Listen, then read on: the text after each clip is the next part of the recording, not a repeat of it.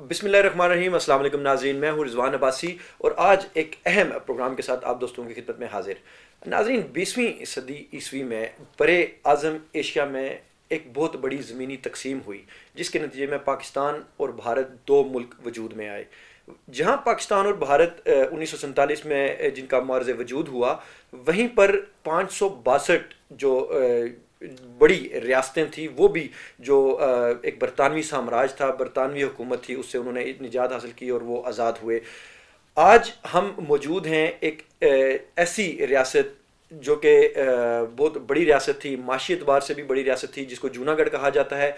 उनके नवाब नवाब ऑफ़ जूनागढ़ जहांगीर खान जी साहब के साथ। आज आप, हम इनसे बात करेंगे, इनसे जानने की कोशिश करेंगे कि ये बेसिकली जूनागढ़ है क्या? जूनागढ़ तहरीक क्या है और जूनागढ़ में की जो, हाल ही में जो पाकिस्तान की तरफ़ से एक सियासी नक्शा पेश किया गया, उसकी क्या अहमियत है? जी, वेलकम सर। नवाब साहब, ये बताएँ कि जूनागढ़ तहरीक बेसिकली क्या है? जी बिस्मिल्लाहमान रहीम अब्बासी साहब, सबसे पहले तो मैं आपका और आपके जो ऑर्गेनाइजेशन है, उसका तय दिल से शुक्रिया अदा करना चाहता हूँ। कि आपने मुझे ये मौका फराम करा कि आपसे कुछ मैं गुफ्तु करूँ और ये जो बात है आप नाजीन तक के पहुँचाएँ। इस मौके पर सबसे पहले तो मैं स्टेट ऑफ़ पाकिस्तान मौजूदा गवर्नमेंट का और आ, हमारे पाकिस्तान के जितने भी इदारे हैं आ, उनका मैं शुक्रिया अदा करना चाहता हूँ। कि, उनने पाकिस्तान के नक्शे के साथ जूनागढ़ को भी शो कराएगा as a part of Pakistan. तो ये एक बहुत खुशाइन बात है एंड मैं तय दिल से शुक्रिया अदा करना चाहता हूँ उनका। और जूनागढ़ जो है वो एक ऐसी रियासत थी जो कि बर सग़ीर में तकसीम हिंद से पहले, जहाँ पाँच सौ बासठ रियासतें थीं, वहाँ जूनागढ़ दूसरे नंबर पर मुसलमानों में सबसे अमीर तरीन रियासत थी। और जो पूरा प्रिंसटी ऑर्डर था, जो कंसिस्ट करता था उसमें ये पाँचवें या छठे नंबर पर सबसे अमीर तरीन रियासत थी, इन टर्म्स ऑफ़ रेवेन्यूज़। इसका रकबा जो था ये तकरीबन चार हज़ार मील पे मुश्तमिल था। और इस पर तकरीबन नाइन्टी या hundred miles of coast line लगता था बहर अरब पर और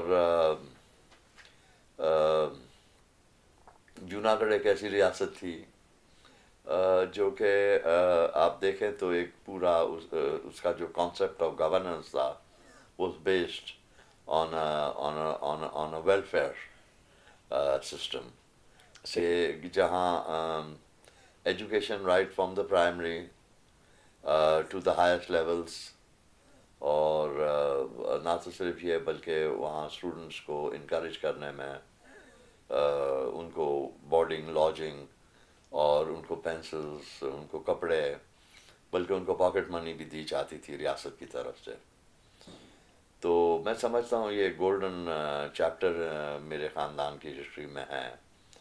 और ना अगर जो हम हेल्थ केयर की बात करते हैं तो फिर आप देखें कि मेडिसिन एंड हॉस्पिटलाइजेशन जो थी वो एक्सप्रेस रिस्पॉन्सिबिलिटी थी ऑफ़ द स्टेट गवर्नमेंट ना तो सिर्फ़ ये बल्कि लंगर चलते थे खाना चलता था फ्री जो भी चाहे वो यानी एक अमीर तरीन रियासत थी। एक अमीर तरीन रियासत थी हमारे नाजरीन जो कि जूनागढ़ के हवाले से जानना भी चाहेंगे और हम भी जानना चाहेंगे कि आपके बुज़ुर्गों ने जूनागढ़ रियासत को जब पाकिस्तान और हिंद जो जब वजूद में आए तो आपके बुज़ुर्गों ने कायद अजम मोहम्मद अली जना के साथ एक एग्रीमेंट भी किया जो कि पूरी दुनिया के सामने वो मौजूद है। और दूसरी जानब मकबूजा कश्मीर जो हमारे जो मकबूजा कश्मीर है उस हवाले से भारत का ये कहा जाता था, कहना था कि जो जो कश्मीर है, जो जम्मू कश्मीर है, उसका हमारे साथ जो उनके जो नवाब थे, उन्होंने इतिहाद किया था। अभी तक वो डॉक्यूमेंटेशन हमारे साथ हमें सामने नहीं आई। तो आप क्या कहेंगे, इन सत्तर सालों में जूनागढ़ की रियासत, जबकि आपके आपके जो बुज़ुर्ग थे, उन्होंने कायद अजम के साथ, उन्होंने कायद अजम मोहम्मद अली जना के साथ इलाहाक भी किया तो क्या वजह थी कि ये जूनागढ़ तहरीक को तकवीत ना मिल सकी? जी हाँ बिल्कुल ऐसा ही हुआ। हालाँकि मैं तो इसको देखें इसको तकवीत देने के लिए आ, मैंने तो अपनी पूरी ज़िंदगी से डेडिकेट कर दी। सही। और मैं ये इशू को लेके भी चल रहा हूँ सही। 1985 से। आ, ये था कि मैंने कुछ तकरीबन इसके अंदर डेढ़ लाख मील के सफ़र भी करे। आ, असल में ये भी हुआ कुछ सेटबैक ऐसा हुआ कि जब हम जूनागढ़ छोड़ के आए हमारे दादा हजूर तो कराची जो था वो पाया तक था। और इसके बाद तो जब तक के वो कैपिटल कराची में रहा तो वो इशू मज़बूत रहा। मगर इसके बाद जब कैपिटल इस्लामाबाद शिफ्ट हो गया तो असल में हमारा बहुत ज़्यादा गैप हो गया। सही। और हमारे इतने वसाइल नहीं थे और ऐसे हालात नहीं थे। कि यहाँ इस्लामाबाद के अंदर कोई ऐसी ऐसा कोई एक फैसिलिटी ली जाए कि जहाँ से हम जूनागढ़ को बैठ के प्रोजेक्ट कर सकें। तो वो हमारी कमी रह गई फिर यहाँ। तो इस्लामाबाद बस आप कह सकते हैं लाइक माइनस द नवाब ऑफ़ जूनागढ़। तो वो मैं ही चल रहा था और मैं समझता हूँ कि ये केस बहुत जूनागढ़ का आगे पहुँच जाता। मगर बिकॉज़ हमको सेटबैक इस वजह से मिला कि फिर दारुल खिलाफा कश्मीर जो कराची था वहाँ पर होना चाहिए था। दारुल खिलाफा जो था उससे हम दूर हो गए। सही। और इतने हमारे अब मैं फिर भी आता रहता था यहाँ मगर बहुत सी अंडर द सर्कमस्टांसेस जो भी प्रवेल करते थे और जो कर रहे हैं एट दिस मोमेंट तो वो ये था कि जितना मैं चाहता था कि मैं यहाँ रुकूं और यहाँ बैठ के जो काम करूँ वो इतने वक्त भी मुझे नहीं मिल सका यहाँ बैठ के काम करने का सर्कमस्टांसिस की वजह से। हालाँकि मैं तो चाहता था मगर देखें जब आप बेहतर जानते हैं एक मकान नहीं होता या कोई जगह नहीं होती है कोई इंसान का कोई सेक्रेटेरिएट नहीं होता है तो उसके लिए बड़ा तो वो मैं ये समझता हूँ तो हमारे हमने फिर ये बात भी करी बल्कि मेरे से ज़्यादा पाकिस्तान के लोगों ने ये बात करी कि जी जूनागढ़ का कोई सेक्रेटेरिएट होना चाहिए यहाँ। तो खैर बहरहाल इंशाल्लाह अल्लाह ने ये कराएगा आपने कराची की बात की नवाब साहब। कराची में आपका जो जूनागढ़ है जूनागढ़ से कराची में बहुत बड़ी कम्युनिटी बात है जूनागढ़ की मेहमन बरदरी वहाँ पर मौजूद है जो कि बहुत फाइनेंशली स्ट्रॉन्ग लोग हैं। क्या आपकी उस कम्युनिटी में आपका जूनागढ़ से लगाव अभी तक है? क्या कोई इस तरह की कोई तंजीम है वहाँ पर जो जूनागढ़ को पाकिस्तान के साथ इलाक में मज़बूत करने में वो कोशा हैं? जी बिल्कुल देखे ना जो लोग जब हमारे दादा हजूर आए यहाँ तो हमारे साथ जो था ये मेमन गुजराती कम्युनिटीज़ आई वहाँ से। सही। और दूसरी कम्युनिटीज़ भी आई बहुत सी। तो ये था कि उस ज़माने में ना पाकिस्तान के पास कोई इंडस्ट्री थी ना पाकिस्तान की कोई तजारत का कोई ठिकाना था क्योंकि शुरू के दिन थे। तो हिंदुस्तान ये कह रहा था कि Pakistan will be a fail state क्योंकि उसके पास ना कोई इंडस्ट्री है ना कोई इकॉनमी है ना कुछ। तो ये जो हमारे लोग आए थे ये पैसा भी लेके आए वहाँ से। तो दे आर द पायनियर्स इन लोगों ने हम पाकिस्तान की इंडस्ट्री को सेट करा उसकी इकॉनमी को सेट करा और पाकिस्तान को गामजन करा।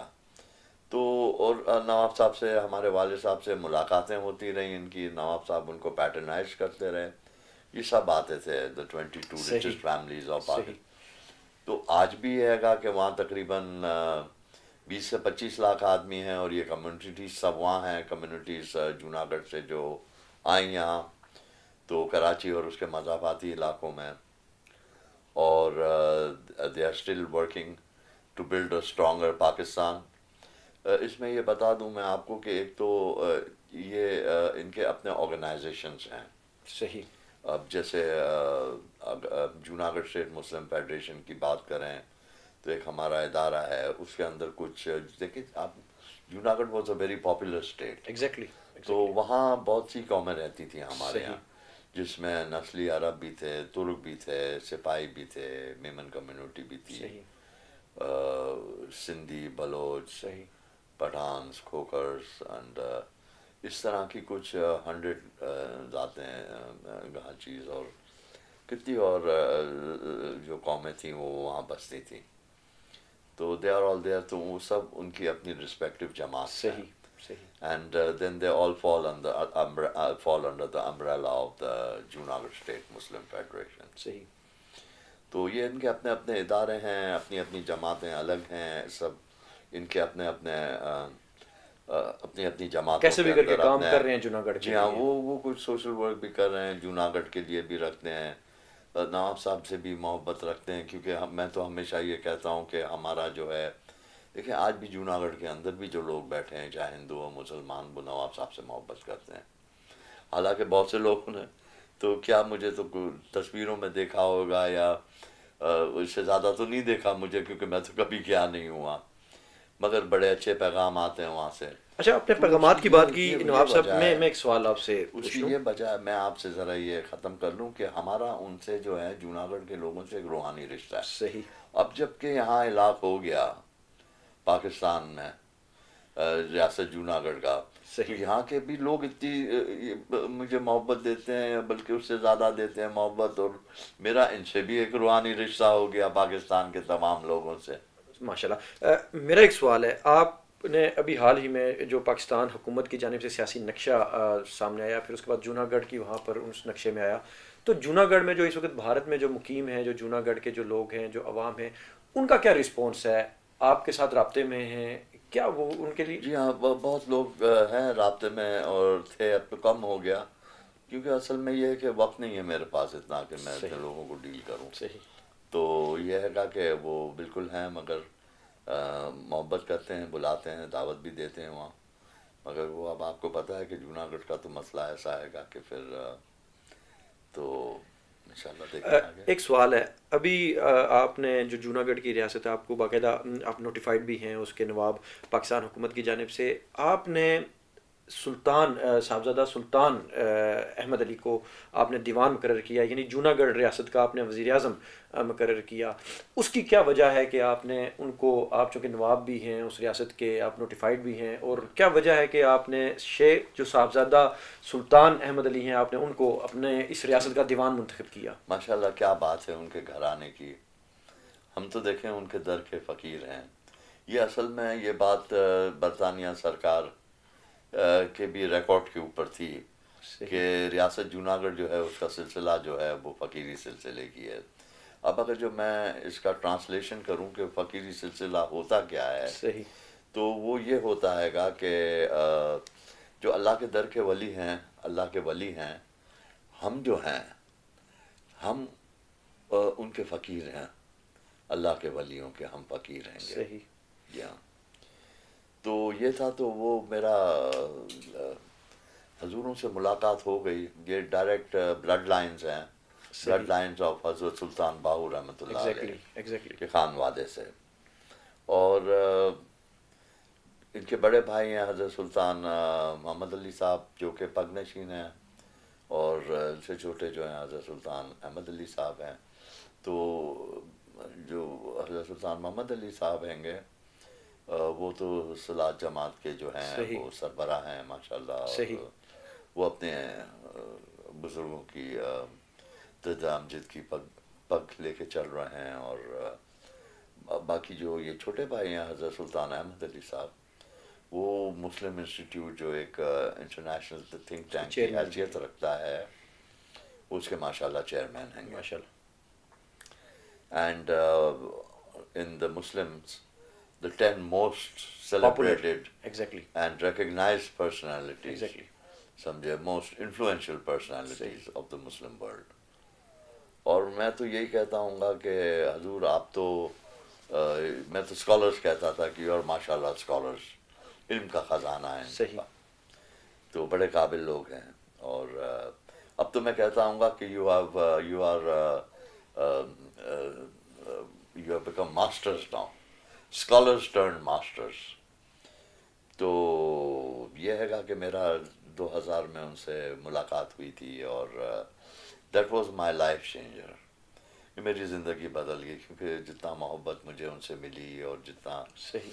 मुझे सुकून मिला और जो मुझे जहनी तौर पर मुझे जिस तरह वो मोटिवेट करते रहे हर मोड़ पर हर उस पर क्योंकि मैं तो इतने अरसे से लेके ये चल रहा था और एक बहुत थका हुआ इंसान भी था एंड क्या हजूरों के मिलने के बाद तो समझ लें कि मैं बहुत ज़्यादा रूपरिएट हो गया और उनके खान वादे की दुआएँ भी हैं हमारे साथ और हजूरों ने मुझे बड़ा हेल्प करा जूनागढ़ के हो। सकता है मैं ये कहता हूँगा कि हमेशा हर जगह पर कि अगर जो ये हजूरों का नया होता साथ मुझे मिलता तो शायद हो सकता है कि आप और हम आज ना बैठे होते हैं साहबजादा सुल्तान अहमद अली ना होते तो आप ये जूनागढ़ की तहरीक को आगे तक लेके जाना के लिए मुश्किल था?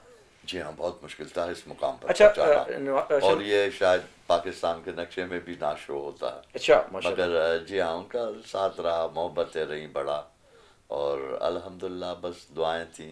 बड़ी बात मोहब्बत थी आप जैसे तमाम लोगों की बड़ी बात है। नवाब साहब ये बताएँ कि आपके बुज़ुर्गों ने इल्हाक किया इल्हाक की एक तहरीर हमारे सामने भी है। उस इस इल्हाक के इवज़ जो इल्हाक आपके बुज़ुर्गों ने किया कायद अज़म रहमतुल्लाह अलैहि के साथ क्या उस इल्हाक के बदले आप यहाँ पर पाकिस्तान आपने कोई चीज़ क्लेम की पाकिस्तान हुकूमत से?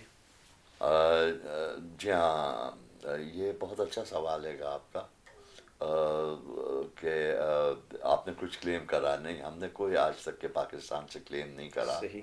और अ, मैं कभी कभी ये बोल जाता हूँ कि यहाँ जो लोग आए हिंदुस्तान से उनने यहाँ क्लेम्स लिए पाकिस्तान में आके मगर हम लोगों ने तो अपना क्लेम भी नहीं लिया जो कि हमारा राइट होता था। सही। क्योंकि वो नवाब ऑफ़ जूनागढ़ का क्लेम तो रियासत पर है। यही बात है। तो ये था कि हमने अपना क्लेम भी नहीं लिया और ये था कि बस वो हालात इसी तरह चलते रहे। और जब हमारे दादा हजूर का इंतकाल हुआ 1959 में तो उसके बाद स्टेट ऑफ़ पाकिस्तान ने रिकगनाइज करा हमारे अ, साहब को एज ए न्यू नवाब ऑफ़ जूनागढ़ सही। और आपको पता है उस ज़माने में तो फौजियों की हुकूमत थी। सही। और president field marshal Mohammad Ayub Khan अल्लाह बख्शे उनको अल्लाह बख्शे क्या इंसान थे वो। सही। कि आज तक के हमारी फैमिली तो उनको याद करती है कभी हम लोग उनको भूल नहीं सकते हैं। तो उनने जिस तरह हमारे दादा को इज़्ज़त दी और जिस तरह जूनागढ़ को और हमारे उसको इशू को जिस तरह उनने जो मुकाम दिया तो ही वॉज़ अ माशाल्लाह ट्रू लीडर एंड हम समझते हैं कि ऐसे अगर जो हुक्मरान होते पाकिस्तान के तो आज बात ही कुछ और होती तो बस ये सिलसिला चलता रहा इसके बाद फिर जब आप- आप क्या देख रहे हैं? उनका वालिद साहब का इंतकाल हुआ तो फिर स्टेट ऑफ़ पाकिस्तान ने मुझे रिकग्निशन दी माशाल्लाह इन uh, 1990 I was officially recognized. सही नवाब ऑफ़ जूनागढ़ और uh, मैं तो अपना ये फरीजा समझता सर बतौर बतौर नवाब ऑफ़ जूनागढ़ आप देखें एक तरफ़ मकबूजा कश्मीर जो कि इस वक्त सत्तर सालों से भारत की बरबरीत और जुल्म का निशाना बने हुए हैं। दूसरी जानब आप जो कि एक बड़ी रियासत जो कि फाइनेंशली स्ट्रॉन्ग रियासत थी जूनागढ़ आप उसके रिप्रेजेंटेटिव भी हैं इस वक्त उस तहरीक को भी लेके आगे जा रहे हैं। जहाँ मसला कश्मीर को इतनी तकवीत मिली जहाँ मकबूजा कश्मीर के हवाले से अकवा मुतहदा में भी बात की जाती है तमाम ममालिक मुस्लिम ममालिक इसको सीरियस लेके बैठे हुए हैं। तो क्या आप समझते हैं कि इस वक्त जो जूनागढ़ की तहरीक है वो उस मकाम पर जा पहुँचेगी या आपको पाकिस्तान की जानब से सपोर्ट मिल रही है उस तहरीक को उजागर करने के लिए? देखिए मुझे यह तो नहीं पता आएगा कि आगे क्या होता है फ्यूचर में। सही। मगर अ, हमारा काम यह है कि हम इसको ज़िंदा रखें और ये जूनागढ़ एक पाकिस्तान का हक है। सही। तो हम इसको लेके चलें। एंड जो भी हमारे से हो सकता है हम करें इन द बेस्ट मैनर और ये हैगा कि यही ज़िंदा कौमों की निशानियाँ होती हैं कि वो अपने इश्यूज़ को कभी अब भूलते नहीं हैं अपनी। टेरिटरीज को कभी भूलते। नहीं हैं। और आप वैसे भी देखें कि हिंदुस्तान को इतनी बड़ी जो हिंदुस्तान तो एक सल्तनत थी। Exactly exactly. अम्पायर थी एक तो उसको इतनी बड़ी सल्तनत तो हम मुसलमानों ने बनाई सही? तो ये हैगा कि ये ये तो हमारा हक है और पूरी रियासत हिंदुस्तान लेके बैठ गया and this this against norms and of uh, international law Exactly. and against the charter. तो जबकि और वो कहते हैं कि जी हाँ बात करते हैं कि जी अक्सरियत तो वहाँ हिंदुओं की थी एग्जैक्टली Exactly. तो कश्मीर में तो मुसलमानों की अक्सरियत है तो फिर वो क्यों नहीं दे देते हैं कश्मीर का क्यों नहीं सेटल कर लेता Exactly. हिंदुस्तान Exactly. तो और मैं इसके अलावा आपको बताऊँ कि ऐसी कई रियासतें थी हिंदुस्तान में जहाँ के जो उसकी आवाम जो थी उसमें मुसलमान अक्सरियत में थे exactly. और उनके जो राजा महाराजा था वो सिख था या हिंदू राजपूत था तो ये जब इसका हुआ आपका तो ये अपने that was not the criteria कि जी